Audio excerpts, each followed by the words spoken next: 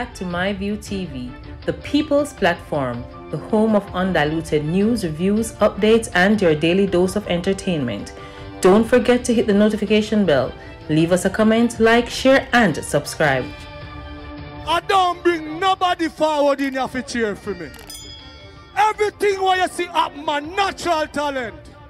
Man, me tell you something. You see, when you know what to please the audience with, it's simple, me. My people. Hope everybody doing okay. Hope everybody doing alright. A ward at the South Camp Juvenile Correction and Remand Center in St. Andrew is now hospitalized after attempting suicide. The girl was found hanging sometime after 5 p.m. People no worry themselves. Me I keep on posted on that because I see Indy come down about them investigate. I want to know where investigate. Say, you know, see how she tie herself and put herself up there.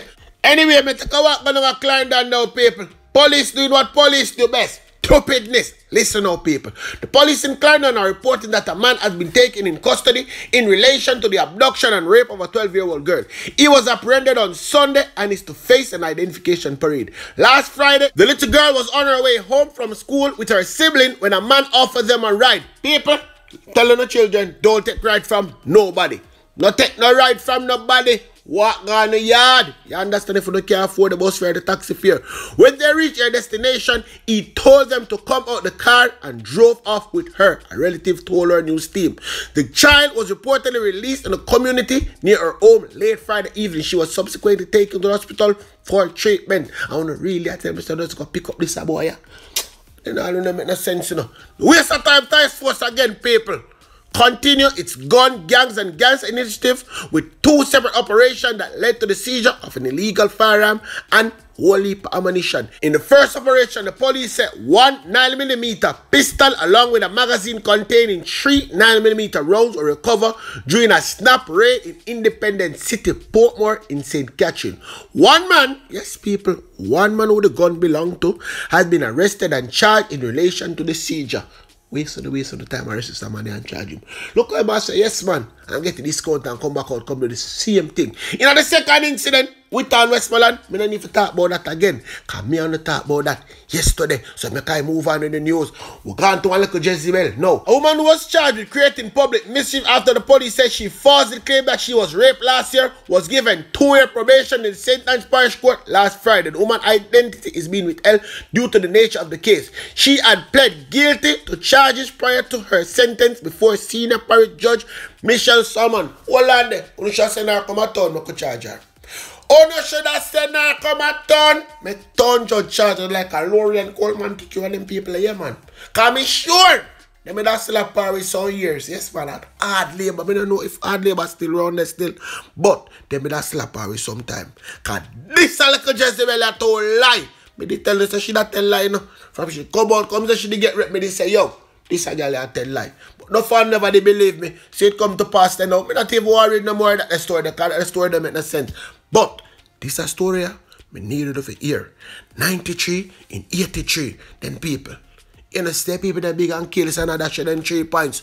Day in, day out. The Road Safety Unit and the Ministry of Transport reporting that 93 people have been killed in 83 fatal crashes since the start of the year. In a release, the ministry said Fatalities and fatal crashes increased by 7% and 1% respectively when compared to the similar period in 2021. Fatal crashes and fatalities that account for 13 and 14 persons respectively during curfew hours since the start of the year. Me always tell you once curfew I don't put this out there, and I got dead. And guess what? Me, I go read both to know. Fatality during curfew hours account for 15% of the total fatalities since the start of the year. In the meantime, fatal crashes and fatality during the hours has decreased by 28% and 36% when compared to the similar period for 2021. Fatalities for 2022 are projected to decrease by 8% when compared with 2021. It is said that pedestrians account for 24% of road users killed since the start of the year. Private motor vehicle drivers account for 23% of road users killed since the start of the year. Private motor vehicle passenger account for 11% of road users killed since the start of the year. Paper tell give them three points. One whole heap of people till the road and give them three points because they want the stupidness. But when you can't continue driving fast, continue to drive fast I have a space on this platform. Me, I gonna make sure I like to not in this. Anyway, Sleepy has something to tell you now. Minister of Sleeping, Dr. Ore Sleepy Chang, on Tuesday disclosed that the removal of ministerial responsibility to examine recommendation of the Firearm Licensing Authority FLA Review Board on gun license has been a policy since 2017. Me gonna make him tell you know, all of this for himself. Cause I want to no feel like say. I just make me a make up story. Him actually wake up and still a chat nonsense people. Listen to him now. We found it inappropriate that policy unit within the ministry should be asked to review the work of a panel headed by a no less a person than a former president of the Court of Appeal, supported by a former senior deputy director of prosecution and a retired senior police officer. In fact, we find the character of the chairman of this panel to be unimpeachable and beyond reproach. As a result, the findings and recommendations of the board are accepted as recommended. In addition to that, where the 90-day period for the review board to consider an application has passed, I do not intervene, but may ask to recommend where there is a genuine case through the chief executive officer of the authority to take an early look at such an appeal. I do not exercise any discretion to examine appeals delayed beyond 90 days. In 2017, Major General Anthony Anderson, former chairman of the board of the FLA, introduced a system where only board members who attend the meetings are allowed to sign off on applications and reports should be signed by all board members attending. Greater relationship with the National Intelligence Bureau and other intelligence agencies established as the FLA moved towards a more system check for the security clearance of applicants. The board no longer reverses its own decisions or that of a previous board. The board no longer considers applications unless all security clearances are attached to the files. Discontinuation of the practice where staff members of the FLA or the third parties sign for or collect packages on behalf of applicants or holders. And let me just add that with respect to ministers operating on a recommendation of the Firearm Review Board, I endorse that 100%, and it is consistent with how I behaved, particularly in the two cases raised in the Integrity Commission's report. And it is curious that they made no reference to the report or recommendations of the Firearm Review Board in those cases. We have made arrangements with the FLA to take steps to clear out the backlog. Um, we have had several steps, in fact. Back in 2020, I think it was, um, the requested by ministry, I don't know if it was carried out, that they should send back all the files older than two years old. And asked the members to reapply because it was pointless keeping them in any case they can reapply after two years. The others are going to review. And um, we have made one attempt at doing it. We got to a fair number, but we are doing a second round, which I expect will to have all backlog cleared by the time this bill is ready. That way that is concerned, people can tell you something now. Me always call a spade a spade. Me not see the difference between a going down a Tivoli garden than we going a rubbish headquarters.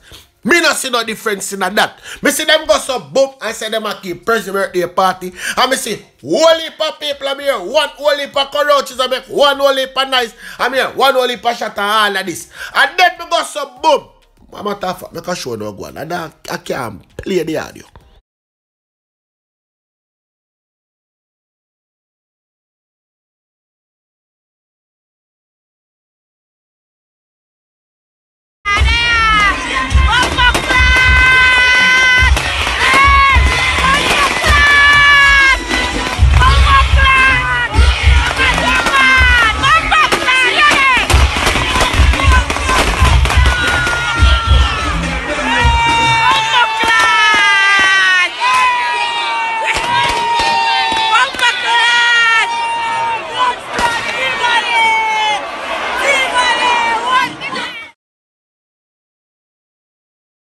I tell now people, you can see clearly say Jamaica endorse the badness culture. That is all we endorse that is little island. Only hear the concubine them make one heap nice. Yes, and I guarantee if the police thing reaching there, I hear cuff, cuff, cuff and boof, buff, buff and then beat up some people. A different thing in the year in the morning, but I don't really want to talk about that still. Me I talk about them without the mask in a picture. A huddle up. The only person have one mask that me can see is Babsy. And I don't know if because Babsy up in her age and she know whatever go around with them said it go around, but it not play no more. Catch her.